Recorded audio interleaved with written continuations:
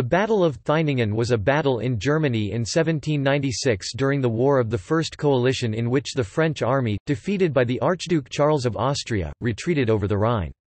The main contributor to that success was Jean-Baptiste Bernadotte.